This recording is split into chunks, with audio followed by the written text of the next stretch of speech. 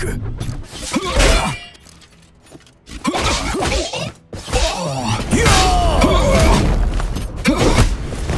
the commander of the Legion, I... Uh, wait, what was I going to say? Try to think outside of the box.